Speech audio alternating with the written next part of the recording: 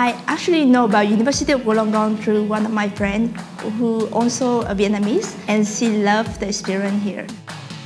It's good for the international student. I do really enjoy my PhD here.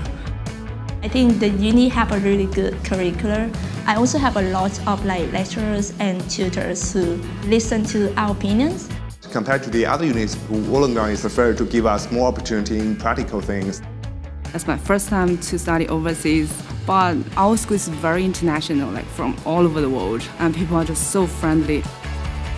I did secure a 30% scholarship from it helped me a lot that I don't need to put too much pressures on my family in terms of funding my study.